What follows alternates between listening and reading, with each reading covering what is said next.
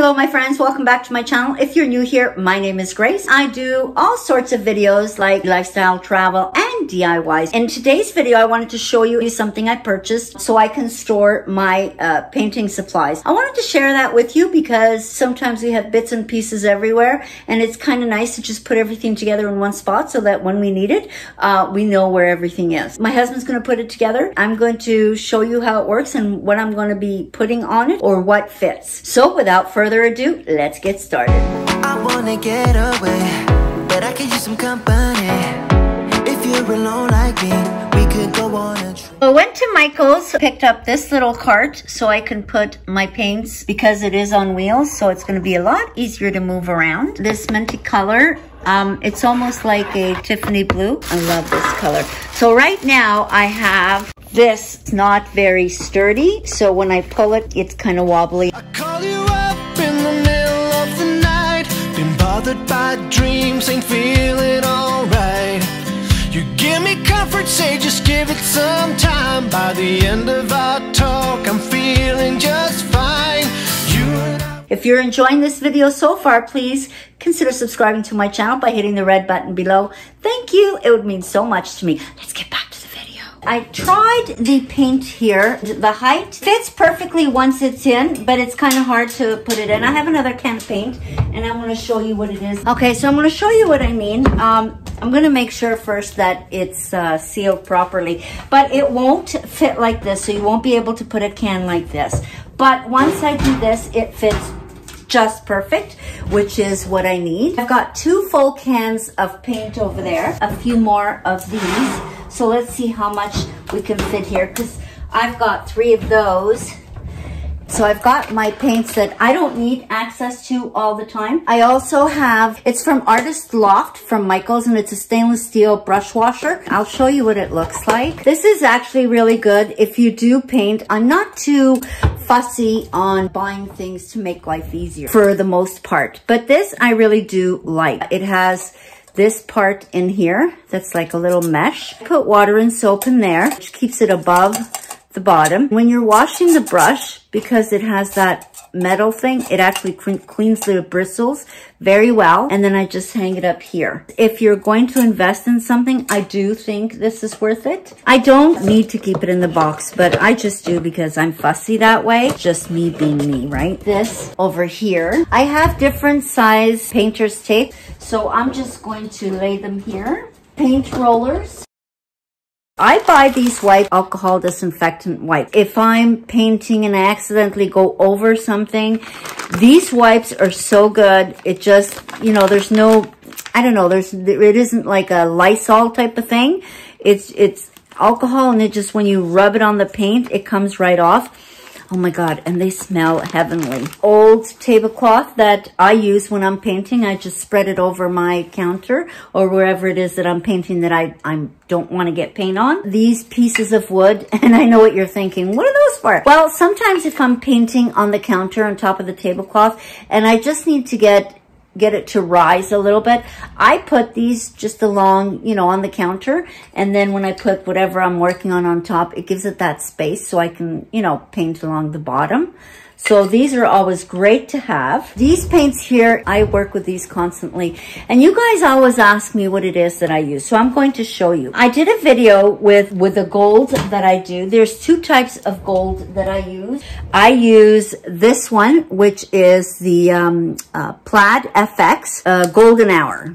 So this is one of the golds I use. It's a more of a, you know, not as bright. When I want the yellow gold, like the bright gold, I use this one. And this is from Art Deco called Gold. These are the only two types of gold that I use for my project. I have not tried this one yet. This is another gold. It's called Vintage Gold. It's not a metallic gold like this one would be. They're certainly very different. But I think it's a little bit more of a, I don't know, maybe not so bright gold. The rose gold, I got a lot of questions on what rose gold I used.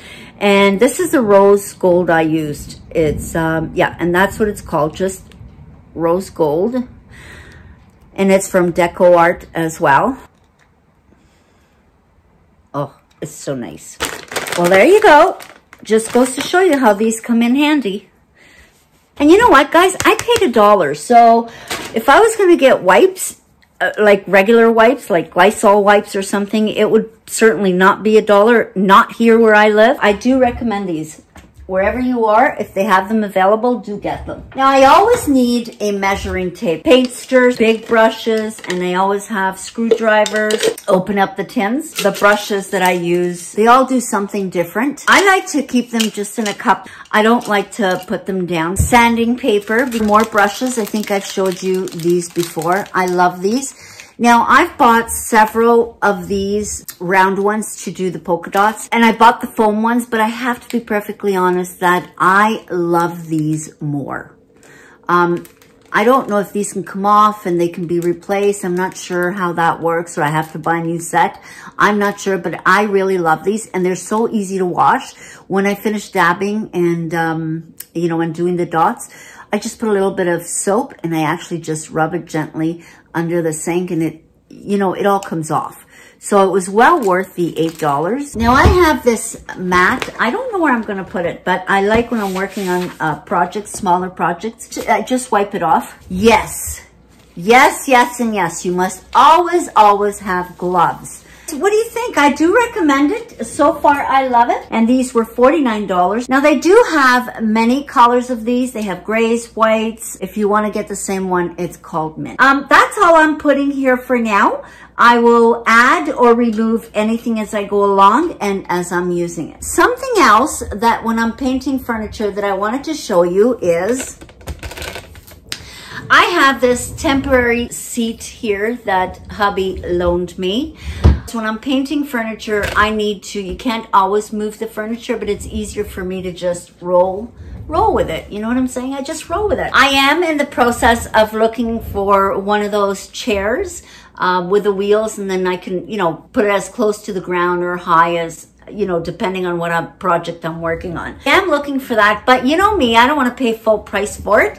I am in search on Marketplace and going to keep you posted. And as soon as I get it, I will show you. The wheels, if you don't want it rolling around, they do lock. Kitchen is limited space and you have a little spot. You know, one of these is a great thing for you to put maybe your potatoes, onions, and whatnot, fruit or whatever you keep out of the fridge. This is a great little storage cart. It's definitely strong. The weight is you, that it can hold is six pounds, and that's got to be a good maybe 10 pounds, 12 pounds at the very least. The only thing that I can say about the cart is I wish it had a little handle over here, something that I can just grab, but that's okay because hey, you know what? I can pull the cart like this. I've got hands. The good Lord gave me hands. I just use that. The handle is certainly not a, a deal breaker. Let me what you think. Maybe you already have one.